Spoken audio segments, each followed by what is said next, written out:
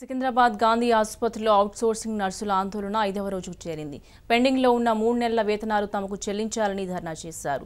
ATUC ఆధ్వర్యంలో superintendent కార్యాలయం వద్ద రెండు గంటల పాటు బైఠాయించారు.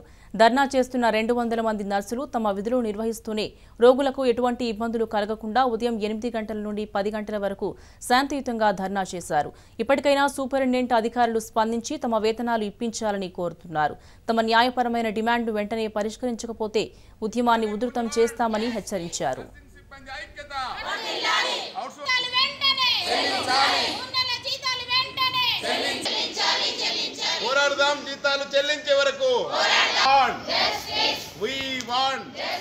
చెల్లించాలి మూడు సిబ్బంది ఐక్యత జీతాలు చెల్లించడం లేదని ఇక్కడ ఉన్నటువంటి ఆసుపత్రి అధికారులకు డిఎంఏ అధికారులకు అదే- అదేవిధంగా కాంట్రాక్టర్లకు గత అనేక సందర్భాల్లో మేము విన్నవించడం జరిగింది. గత ఐదు రోజులుగా కూడా ఇక్కడ నిరసన కార్యక్రమం తెలియజేస్తూ ఉన్నాం. ఎందుకంటే పేషెంట్లకు ఇబ్బంది కలగొద్దనే ఉద్దేశంతోన టూ అవర్స్ మాత్రమే నిరసన కార్యక్రమం తెలియజేస్తూ ఉన్నాం.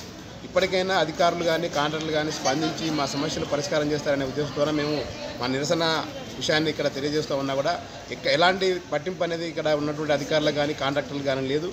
గత ఐదు రోజులుగా మేము ఇక్కడ నిరసన తెలియజేస్తుంటే కనీసం మీ బాధలు ఏంటి మీకు ఉన్నటువంటి ఇబ్బందులు ఏంటి ఈ రోజు కాదు రేపు పరిష్కరిస్తాం లేదంటే రెండు రోజులు టైం ఇవ్వండి అని కూడా అడిగేటటువంటి అధికారులు కూడా ఇక్కడ ఎవరు లేరు.